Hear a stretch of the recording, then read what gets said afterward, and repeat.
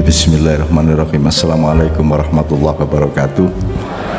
Pertama saya minta maaf sebanyak-banyaknya, sedalam-dalamnya, seluas-luasnya kepada Pak Minto, sahabat saya, adik saya, karena beliau hafal satu bait puisi saya, sementara saya sendiri sudah lupa. Saya mohon dimaafkan karena itu sangat memalukan bagi penyairnya yang tidak hafal. Kedua, saya kasih pengantar gini aja Ibu Bapak sekalian. Saya terima kasih atas kesempatan untuk bersilaturahmi dan halal bihalal pada siang hari ini.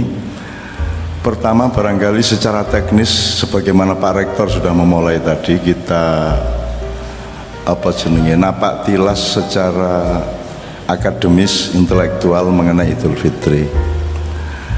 Jadi kalau ucapan Idul Fitri yang original dari Rasulullah itu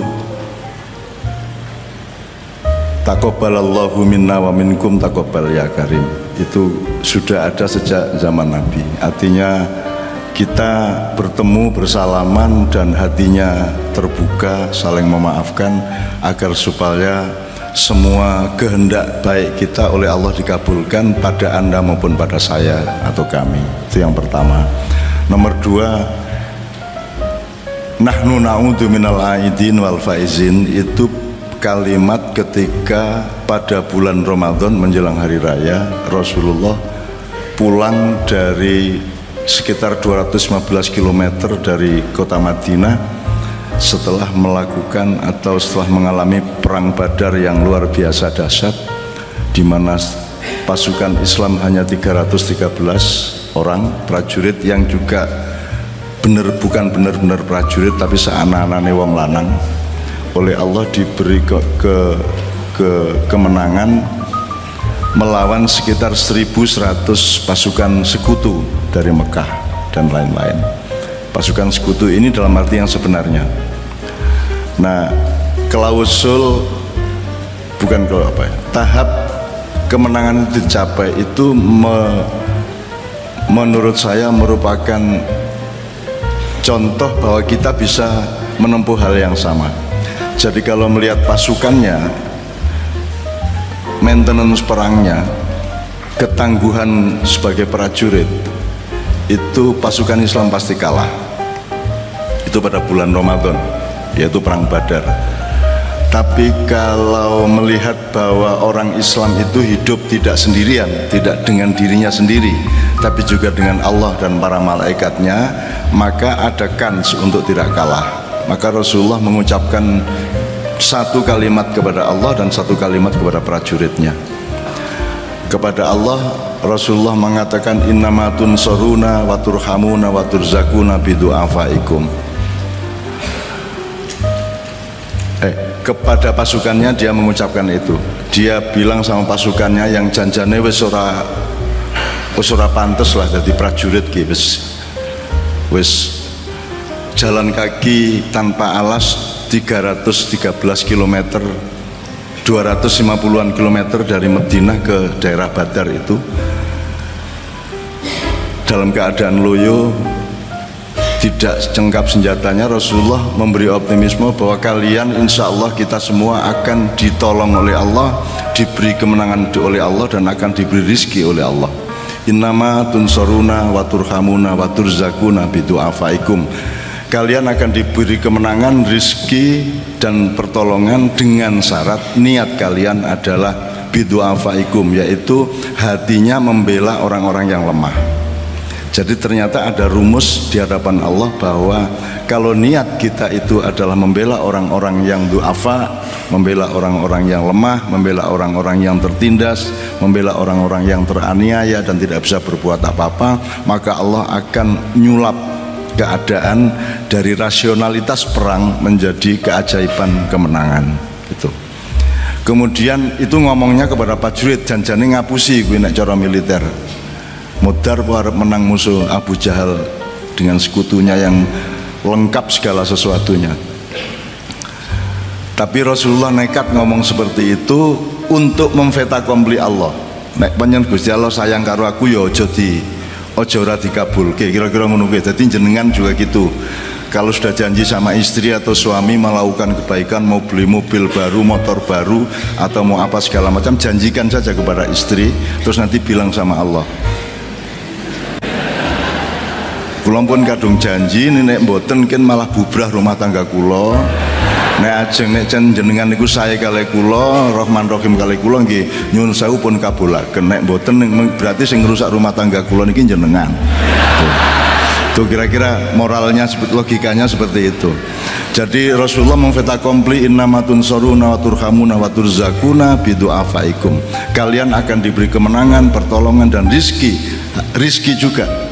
Ya, asalkan kalian berniat untuk membela orang-orang yang lemah yang tinggal di kampung kita yang kita tinggalkan untuk perang. Kemudian kepada Allah dia ngaku Rasulullah ilam takun alayya ghadabun fala ubali. Gusti niki nek soal perang mesti kalah prajurit mboten alah raiso dialap lah. Senjatane mboten lengkap. Sing kula andalkan kula milih medan perangnya jadi Rasulullah milih di lembah Badar sehingga dia secara militer dia bisa hitung bahwa sedikitnya pasukan itu akan tidak terlalu celaka karena wilayah yang dipilih itu adalah ada bukit-bukit ada lembah. Dan saya pernah ke lembah Badar itu. Nah kemudian kepada Allah Rasulullah mengatakan ilam takun alayya godobun fala ubali. Ya Allah sing penting jenengan ampun duka dan kula jenengan ampun nesu dan kula. Nek jenengan ora nesu dan kula wis modaro arep kalah monggo arep modar monggo ora masalah. Ya ini kalimat jangan sampai kedengaran prajuritnya. Ini kalimat rahasia antara Allah dengan anda. Jadi kalau sampean kepepet iki wis dinilai oleh tim apa iku jenenge Amerika untuk meningkatkan level UNY ini. Ya sekarang ini kalau kira-kira kepepet kok menurut penilaian mereka kita kurang kondusif atau kurang memenuhi syarat untuk naik level dari 10 besar Pak ya? Dari 10 besar. Sampean bilang sama Allah ilam takun alaya godopun fala ubali. Ya Allah asal sampean panjenengan boten nesu dan kulo sebagai rektor Arab kalah modaro ora masalah. Ah Gusti Allah ratego akhirnya ditingkatkan menjadi tujuh besar enam besar lima besar. Itu ceritanya. Jadi hidup itu tidak hanya regulatif rasional. Hidup itu ternyata ada kolusi-kolusi dengan Allah. Aslinya kita itu kalah. Tapi karena ada Allah maka ada alasan untuk tidak kalah. Nah alasannya tidak militeristik tidak rasional. Alasannya adalah kasih sayang. Asal sampean sama Allah itu pasrah bener ikhlas untuk dikasih takdir kayak apa pun malah Allah malah tidak mentakdirkan. Klausul yang terbesar adalah idul adha. Sebenarnya aslinya kan Ibrahim diperintah menyembelih Ismail coba. Piye niku ana Gusti Allah ngongkon hambane beleh anake coba niku lah kurang ajar lho niku. Asline nggih. Nggih mboten Bu. Bagaimana coba? Kita Tuhan misalnya terus kita bikin manusia terus kita suruh si manusia menyembelih anaknya. Itu kan kalau dilihat secara pendidikan moral Pancasila kan itu kejam. Saya apa jenenge PMP gitu sekitar MP MP yang buk jenenge ganti-ganti ra masalah. Indonesia ini kahanane ora ganti sing ganti jenenge kan gitu. Ya, sekarang PSK dulu WTS sebelumnya Londe sebelumnya Begenggek sebelumnya semua lah janjane podo wae. Jane ya meng, meng maling disebut koruptor ben terhormat sidik janjane ya meng asu maling kan gitu kan gitu. itu ya nyun sewu nih Oke, saya teruskan supaya saya tidak berkepanjangan. Saya teruskan ternyata ada klausul untuk mendapatkan ridho Allah dan kemenangan dari Allah di dunia maupun di akhirat yang jalannya bukan transaksinya bukan transaksi rasional, bukan transaksi militer, bukan transaksi teknis, birokratis atau apa pun, tapi transaksi cinta. Rasulullah mengatakan ilam takun alayya ghadabun fala ubali pokoknya angger jenengan mboten nesu ten kula kula mati mboten napa-napa. Ikhlas kula kalah Islam modar ora ana Islam kula mboten masalah. Sing penting jenengan ampun nesu ten kula. Itu kan satu dialog yang sangat private yang sangat sangat individual sangat personal antara Rasulullah dengan Allah. Itu itu asal usulnya seperti itu. Oke saya teruskan. Karena menang di perang Badar itulah kemudian pulang menjelang hari raya Rasulullah mengatakan nahnu na'udu minal aidin wal faizin. Nah terus kita pakai sekarang. Nahnu na'udu kami kembali sebagai orang ya kami kita sekarang menjadi orang yang kembali dan beruntung. Itu maksudnya perang Badar Nah sekarang kita harus temukan perang badar-perang badar kita. Perang badar kita itu tidak harus PDIP lawan Gerindra. Perang badar itu tidak ada urusan nama Jokowi dan Man Prabowo. Itu masalah terlalu kecil dan terlalu remeh dan pura-pura semuanya itu. Yang disebut perang badar adalah Rasulullah mengatakan kita barusan pulang dari perang kecil dan sekarang kita memasuki perangan yang sangat besar jihad al-akbar yaitu perang melawan nafsu kita masing-masing perang melawan ketidakterbatasan kehendak kita masing-masing. Nah jadi ini ini sebenarnya apa namanya merupakan ajaran utama dari puasa jadi nanti pada poin berikutnya saya ingin mengatakan sampai dikasih puasa Ramadan, dikasih Idul Fitri itu sebenarnya hanya supaya Anda tidak celaka. Janjane ini Arab lulus rano sing lulus kejaba nabi sing pancen di takdir kita. Nek jenengan ra lulus, aku ra lulus modar apa? Ra lulus. Ora lulus, apa wae ra lulus. Cuman Allah itu tahu bahwa kita tidak lulus karena dia menciptakan kita itu mengelemah. Jadi akhirnya kita itu diluluskan dengan mudah dikasih kolusi-kolusi dikasih sing janjane poso kuwi Ramadan kuwi lak sepanjang tahun dong. Karena hakikat puasa adalah anda ngerti batas. Anda ngerti dosis nek kesehatan. Kapan mangan kapan orang mangan mangan sepiro mangan opo ya sapi turute itu aja kita kan tidak mampu sekarang bu. Kita kan hidup kuliner tidak hidup higienis hidup kita itu pengen mangan opo dudu api e mangan opo pengen mangan spiro dudu api e mangan spiro hidup kita kan kuliner kita babadokan wera lulus kok. Aja meneh kok teologi budaya intelektual akademis. Jadi mulanya Pak Rektor yang murah hati lah melulus-luluskan mahasiswanya itu. Allah sendiri sangat murah hati. Gusti Allah ki janjane ki memurahi kita nek diurus-urus tenan ra iso. Idul Fitri halal bihalal ra iso. Halal piye? Wong ming ketemu sak ketemune wong to. Ya ming ketemu paling ming wong 0,0 berapa persen to satu kali hari raya. Saiki kowe dadi rektor. Menyatakan suatu kalimat yang ternyata tidak kondusif dengan situasi hati dan posisi pikiran maupun posisi dalam konstelasinya si mahasiswa sehingga kalimatnya Pak Rektor itu kemudian menjadi mudorot.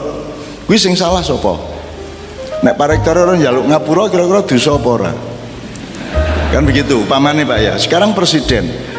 Presiden saiki kalau presiden gini Sayyidina Umar itu bin Khattab itu bentur bendus bendus kendase ning tembok mergo krungu ana unta kepreset ning dalan dia bertanggung jawab terhadap semua jalanan yang ada di Madinah pada waktu itu. Kok ana unta kepreset? Berarti sing salah kan khalifah akhirnya dia bentur-bentur kendase ning tembok karena merasa bersalah kepada unta. Jadi nek hari raya Sayyidina Umar itu lho njaluk ngapura tenanan karo rakyat lah di Indonesia malah open house malah rakyatnya dinteni kon njaluk ngapura lah rakyat salah apa? Rakyat wis angel. Dan hari sampai hari ini tidak ada permintaan maaf resmi presiden kepada rakyat. Tidak ada permintaan maaf resmi dari menteri kepada rakyat. Orang-orang jadi orang yang orang lulus aslinya melbu neraka. Tapi Allah sangat murah Allah ngalah. Wis ora apa-apa. Sing penting kudune kowe poso ki terus. Ora menggono ora mang.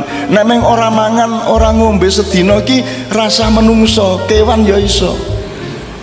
Itu bukan prestasi puasa Ramadan. Itu ke bahwa anda itu butuh membatasi diri butuh mengendalikan diri. Hidup itu melampiaskan atau mengendalikan. Dan manusia diberi akal yaitu alat untuk menentukan atau meregulasi apa saja yang harus dikendalikan kalau hewan tidak perlu mengendalikan diri karena dia dirimut oleh para malaikat atas izin Allah. Jadi malaikat binatang alam tidak ada yang berdosa.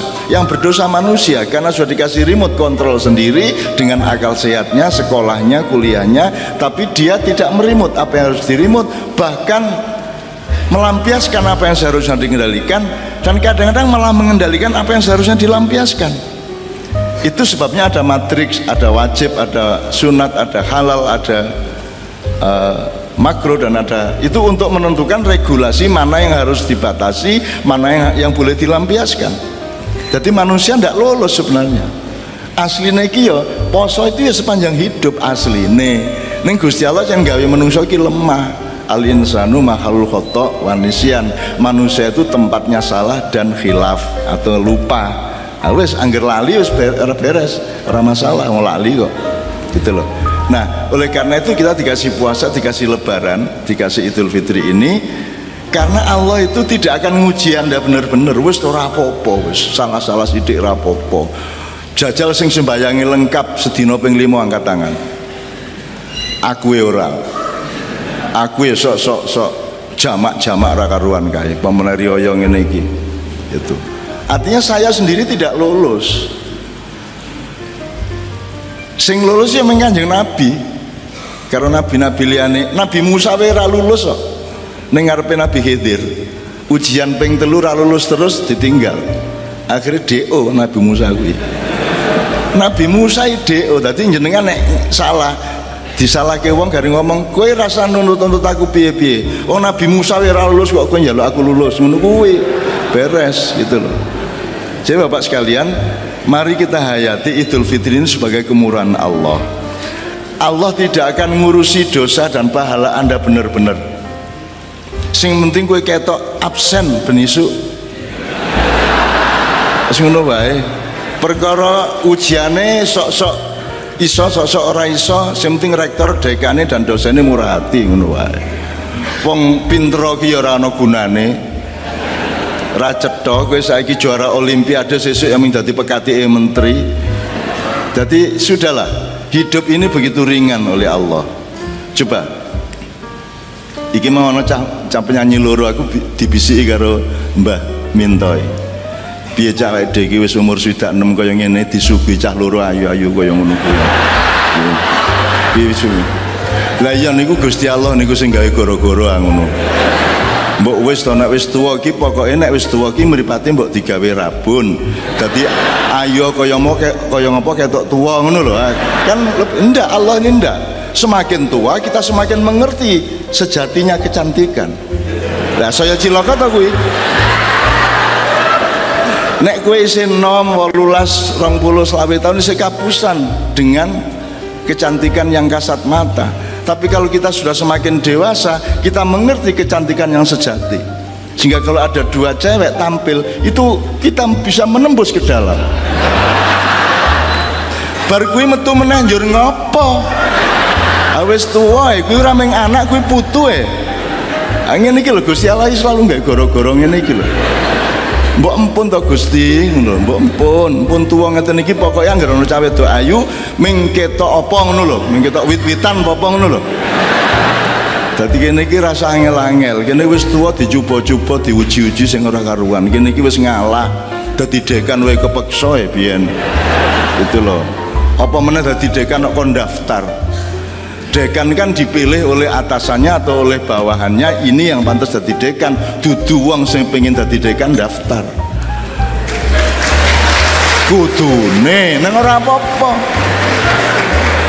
Presiden yang unu bukan yang nyalon. Presiden yang sejati pemimpin yang sejati tidak akan mencalonkan diri. Itu bukan hanya moral itu akhlak itu itu hukum. Rasulullah mengatakan Wahai Abdurrahman kamu jangan meminta kekuasaan kepada rakyat. Sebab kalau kamu yang minta kekuasaan Allah tidak turut campur. Nah sekarang kan kalau nyapres kan harus nyapres. Harus daftar harus ini. Itu kan Allah oh ya wes ndak ikut-ikut. Jadi pilpres ini Allah ndak ikut-ikut. Ndak ikut-ikut. Ya karepmu kono harap sopo monggo. Kayak bedanya ya opo kan gitu kan. Dan seterusnya. Oke Bapak sekalian supaya saya tidak berkepanjangan supaya nanti bisa ada tanya jawab saya ingin teknis saja jadi kita itu tidak mampu idul fitri aslinya tidak mampu lah Idul Fitri itu kan kembali seperti bayi, kembali fitrah ke, ke. Idul Fitri. Maka disebut hari raya Idul Fitri. Itu sudah pencapaian. Kalau Idul Adha perjuangan. Adha adalah kesanggupan kita untuk memindah milik kita menjadi bukan milik kita. Itu pengorbanan yang luar biasa. Jadi Idul Adha itu peristiwa yang lebih besar daripada Idul Fitri. Kalau Idul Fitri sudah tercapai semuanya tapi kan ya tidak mungkin kita Idul Fitri paling sekeluarga. Apalagi sekarang kalau kita ngomong globalisasi. Kita sudah tidak bisa kok mengidentifikasi ini dosa apa tidak. Ya angel salah pora salahku sepiro. Gitu ya kalau globalisasi itu gini mas sampean beli aqua aqua itu perusahaan siapa Dulu bagaimana caranya dia dapat izin untuk mengeruk air, menguras air dan mendapatkan legalitas untuk berjualan aqua misalnya. Itu perusahaan dari bukan Indonesia misalnya. Jadi nek kue tuku tak tuku aqua, kue melu dosa apa ora? Iso, kue iki saiki iki ora iso kapan dosa kapan ora wis ora iso. Dan Allah murah hati wis apa-apa, wis ora ngerti ra apa jan kowe ya bodoh gitu kan.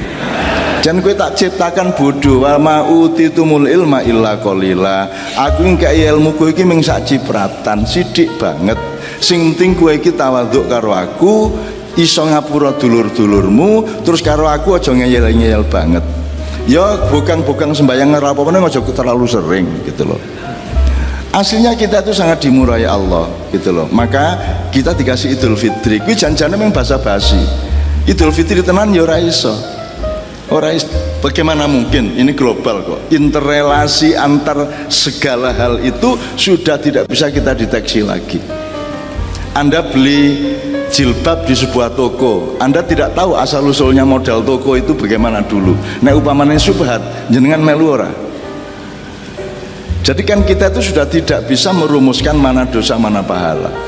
Maka cara Allah untuk membereskan semua itu adalah kasih sayang. Wis tak ngapura kabeh ngono wae. Sing penting kowe apik karo wong aja mateni aja nyolong aja menghina wong aja mateni wong. Telu kuwi aja nyolong jangan mengambil hak orang lain. Nomor dua jangan menghina martabat hamba-hambaku nomor dua eh nomor tiga jangan membunuh nyawa mereka. Asal tiga itu kita tidak lakukan insya Allah anda semua minal aidin wal faizin oleh Allah akan diridhoi. Halal bihalal itu adalah aplikasi horizontal dari ridho biridho. Kalau ridho biridho itu Allah ridho kita ridho. Terus kita terjemahkan kalau sesama manusia kayak eh kok nek nek ridho biridho kok keduren wis halal bihalal wae. Lah yang penting kini wis orang ganjel satu sama lain. Itu pun kita masih separuh kita hanya minta maaf. Kita tidak pernah ada ucapan memberi maaf. Orang ono. Ya piye kuwi? Angel to kuwi? Ucapan raya Pak Rektor misalnya ya. Terus dengan ini saya memaafkan semua mahasiswa dan civitas ya raiso itu akan melanggar budaya juga dan psikologi. Jadi kita itu juga memang tidak pernah lengkap. Maka yang yang nomor satu adalah Alhamdulillah kita tetap menjalankan ibadah Ramadan saiso isone janjane iku lak ming posone kewan to kuwi ming ora mangan ora ngombe iki angele apa? Abote apa? Ming orang mangan orang ngombe saka subuh nang maghrib iki gek abote iki apa itu belum pekerjaan manusia aslinya. Tapi oleh Allah tidak apa-apa digituin supaya ada alasan Allah untuk memaafkan kita. Terus kita beramai-ramai idul fitri. Janjane ya ora idul fitri tenanan apa edan apa ora. Ora wong atine sing ganjel terus. Apa meneh pilpres urung bar iki? Wah wis ora wis. Dan seterusnya. Aku ora melu apa-apa wae dibulintek ning internet kok. Ora melu apa-apa blas ora melu apa-apa. Ming disangka. Disangka begini diasumsikan begitu. Lo tujuannya Gusti Allah kuat ampuh tadi orang wani menyangka Allah. Saya misalnya Allah mengatakan fi qulubihim maradun fazatahumullahu maradun di dalam hati mereka terdapat penyakit dan aku tambahi penyakitnya. Itu kan ujaran kebencian. Oleh BTN bisa dianggap mengecek BTN atau dipakai untuk menyerang BPN oleh BPN juga bisa dianggap mengecek BPN dan dipakai untuk menyerang BTN karena kita hidup tanpa pijakan yang jelas. Kita kehilangan nasionalisme kita kehilangan keindonesiaan kita tidak berdiri di cakrawala. Kita masing-masing kos di kutub selatan atau kutub utara. Sehingga semua yang di tengah akan kita tuduh lawan kita. Kan begitu ini adalah kehidupan yang sangat tidak sehat di Indonesia. Tapi orang apa-apa Gusti Allah suge gede sing penting di Ngapura selesai masalah. Susuk neng neraka ora sida iki swarga wae. Terus lah kowe pas pilpres?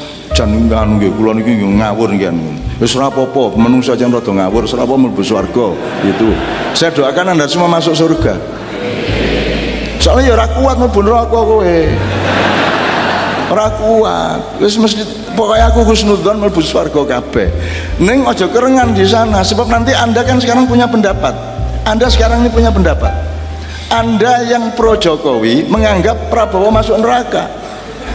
Dan anda yang pro Prabowo menganggap Jokowi masuk neraka. Nek sok-sok kowe ketemu wong loro kuwi piye kowe? Lah ya piye mulane?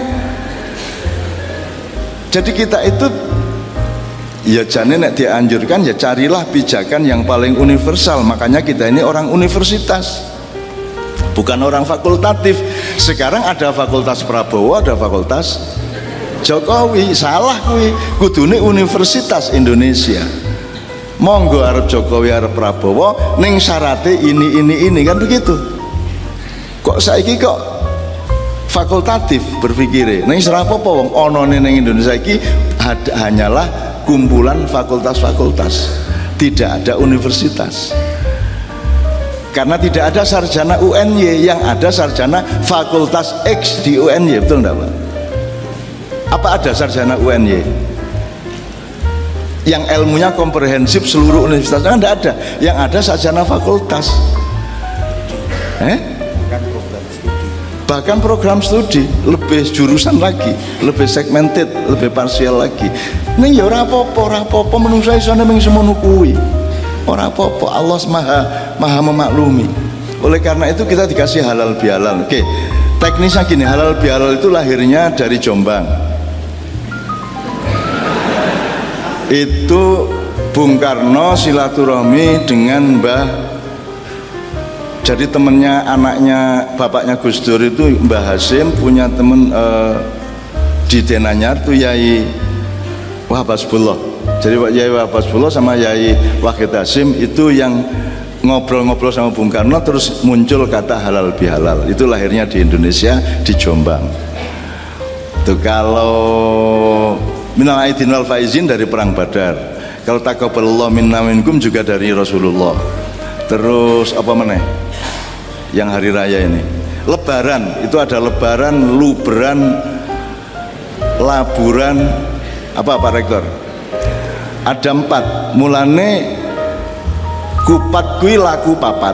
Kui orang apa apa orang apa apa iki, jeneng nek jadi agamaku ini ya gitu ya. Budaya itu tanduran nih nah wene ditandur di suatu tanah berbeda hasilnya dengan di tanah yang lain. Tingkat kesuburannya dan lain sebagainya usianya dan seterusnya. Kan gitu. Jadi lebaran itu berarti kita sudah menyelesaikan tugas berat yang namanya puasa. Yang budget makanannya lebih tinggi daripada di luar bulan puasa. Soalnya luwe oke mangan pas poso tuh mangan ora poso?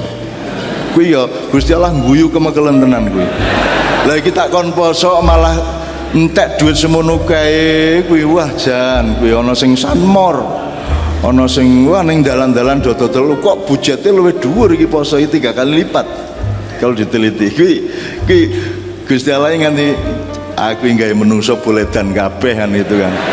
Ayo poso kok malah budgetnya meningkat. Iki lebaran lubran itu artinya kita bermurah hati. Jalan tol bisa rame selama lebaran karena kita tidak ngitung duit demi keluarga. Ya lubran terus menurutnya laburan. Laburan terus kita ngecat putih. Idul Fitri. Kita cat meneh. Corang-coreng coreng kita hapus kita kabur lagi. Si jine meneh. Lebaran luberan laburan. Si meneh apa luber luber luber luberan labur lebar si meneh. Lebur lebur. Halal bihalal. Itu juga ide yang bagus. Itu namanya bid'ah bapak sekalian. Apa bid'ah? Bid'ah itu adalah hasil dari ibda. Ibda itu sesuatu yang baru yang kita bikin.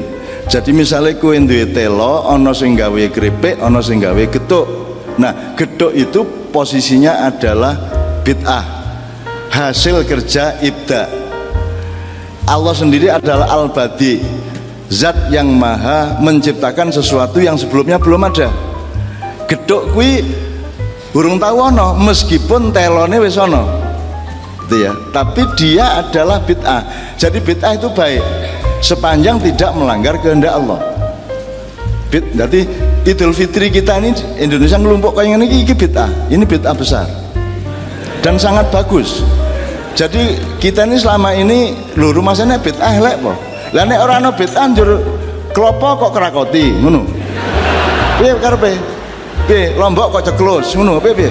Loh, kita butuh bid'ah. Bahwa lombok itu ojo dipangan langsung tapi digawe campuran, gawe sambel apa bumbu kan begitu. Itu namanya bid'ah.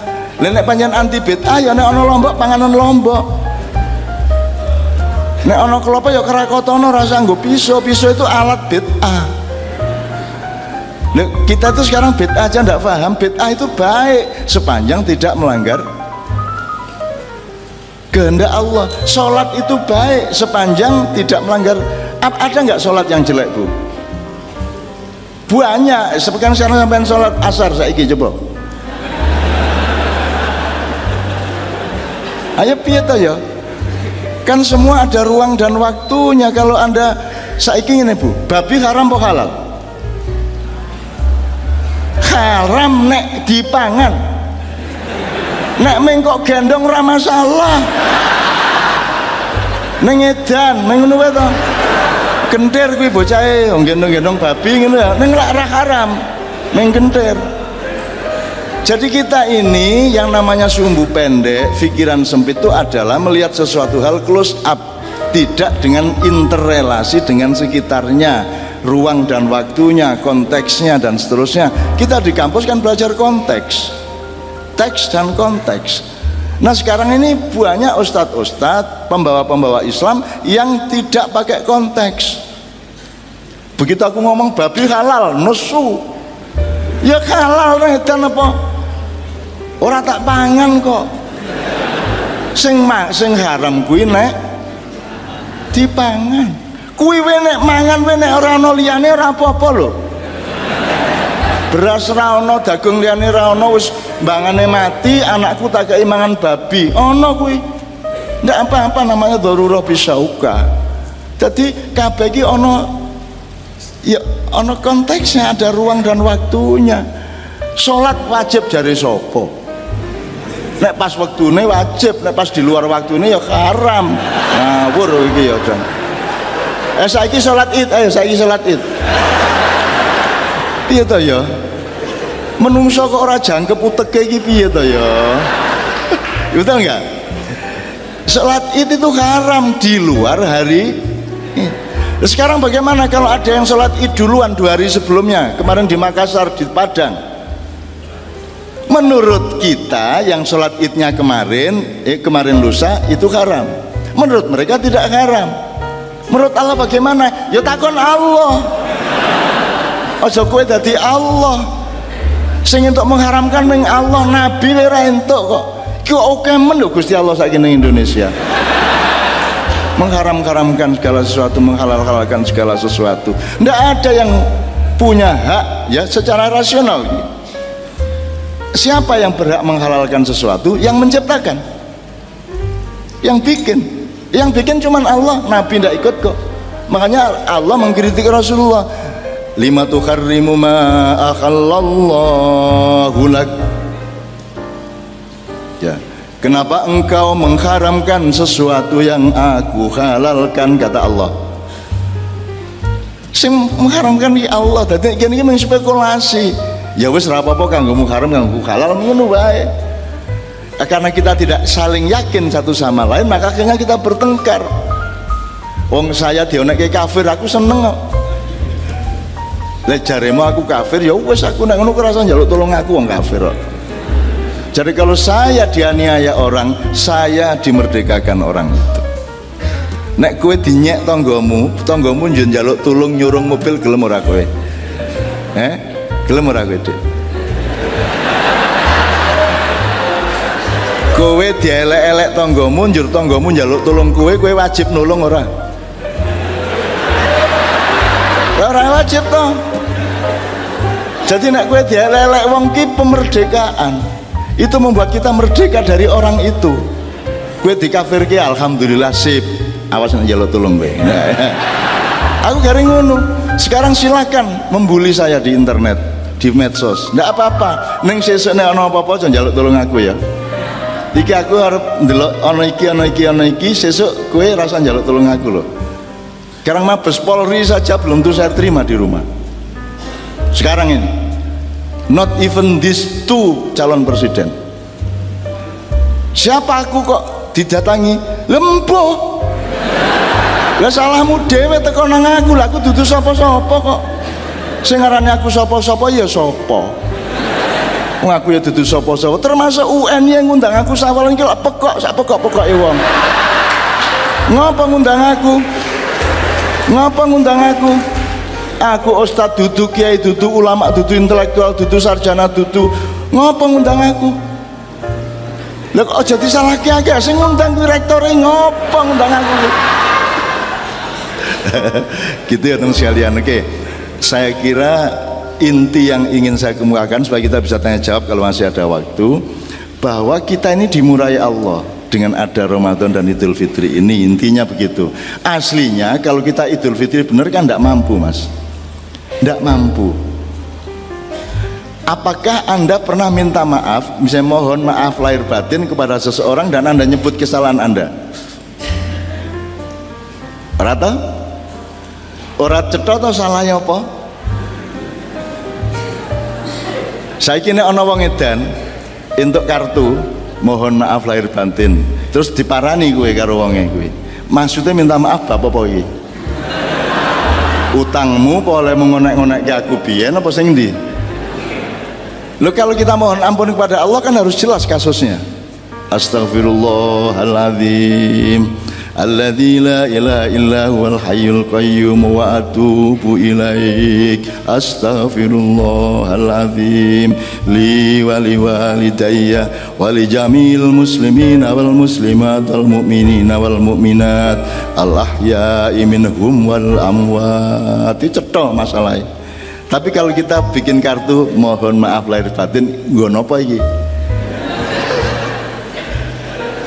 Ra cetok lagi terus orang ngerti bedanya hukum agama sama hukum negara.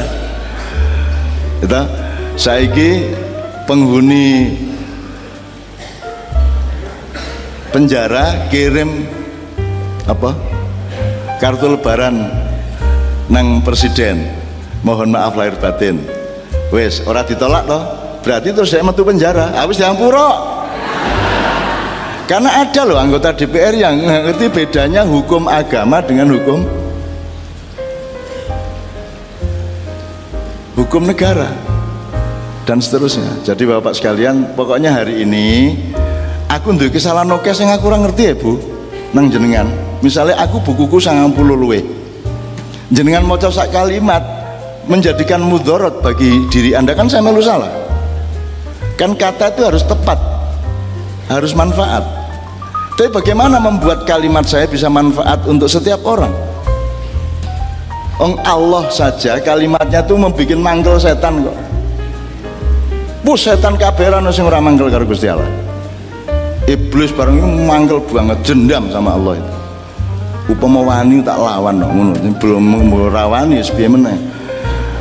Akhirnya iblis itu manggil sama Allah karena dia tidak setuju polisinya Allah. Allah kan dulu hanya pakai satu sistem yang negatif ne, apa positivisme kabeh ki ngabekti ape ape ape ape ape terus iblis ndak dinamis hidup ini. Harus ada positif negatif. Harus ada dialektika. Harus ada konfrontasi sedikit-sedikit harus ada dinamika. Harus ada kompetisi. Itu idenya iblis. Jadi barang siapa berkompetisi sebenarnya itu pengikut iblis. Aja nesu aja nesu ora. Ora gue nek diteruske secara lugu ya toh karena yang menciptakan kom ide kompetisi itu iblis. Dulunya enggak manusia taat gitu aja. Makanya ada malaikat ya ada jin ada manusia dan ada alam. Malaikat dari cahaya jin dari api ya di manusia dari tanah.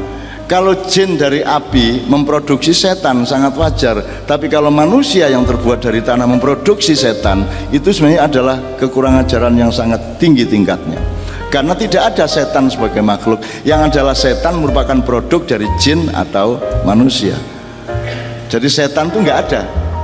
Nek sing sampean delok ning kuburan kayak itu setan kayak meng meng bias-bias dari metafisika dan fisika yang bercampur di antara pandangan kita. Hantu barangi kui meng energi liar yang munculnya itu berdasarkan konsep anda sendiri di dalam pikiran dan memori anda mulanya aku karo hantu-hantu akrab karena mereka tidak ada yang bisa muncul di depan saya.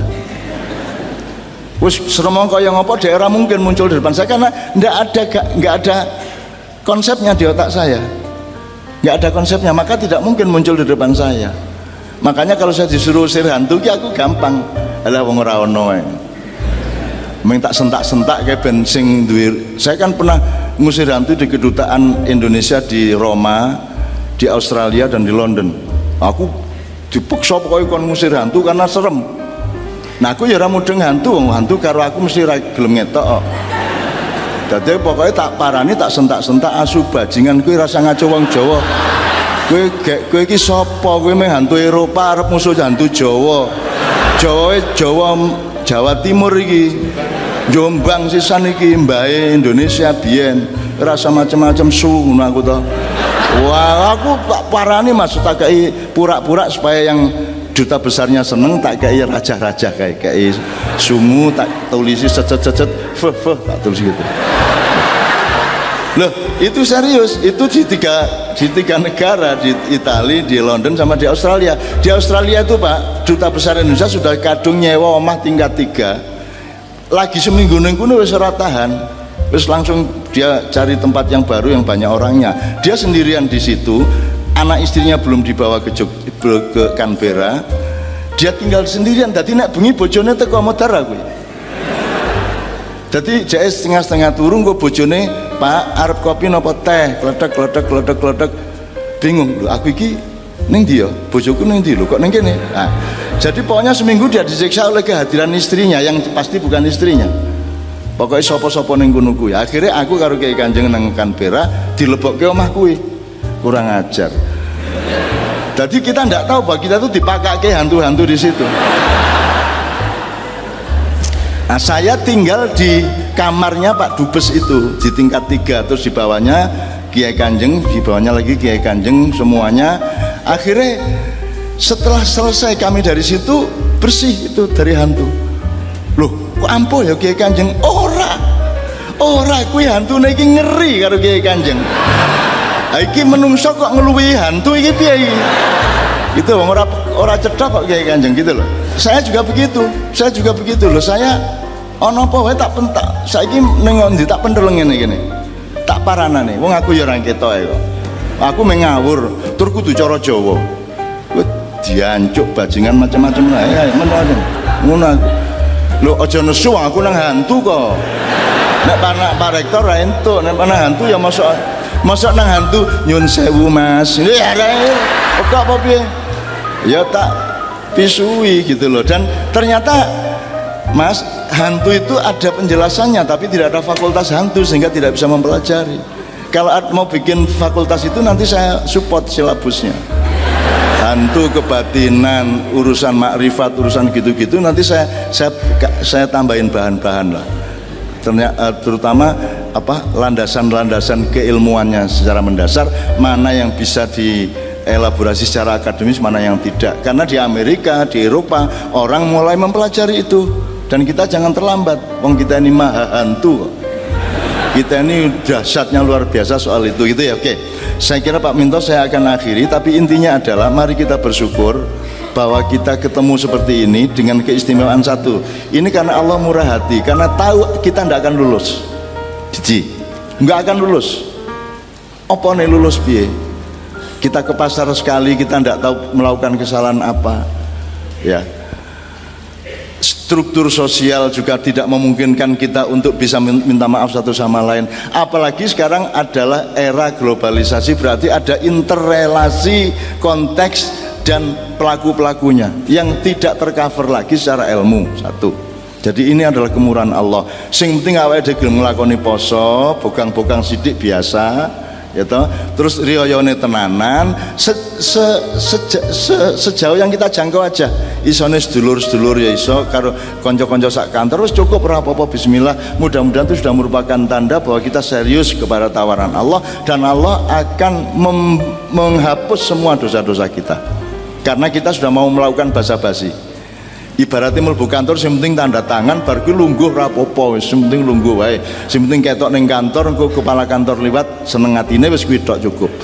Itu satu. Nomor dua uh, untuk masalah-masalah Indonesia saya kira Anda harus punya pemetaan dan uh, aplikasi tenaga yang yang setepat-tepatnya. Artinya Anda anda harus menentukan yang primer mana, yang ambil tenaga banyak itu yang mana yang cukup anda batin sedikit-sedikit di sudut hati yang mana anda harus punya skala prioritas. Nah skala prioritas ini berdasarkan apa? Monggo. Kalau saya itu urusan saya adalah saya dan keluarga saya.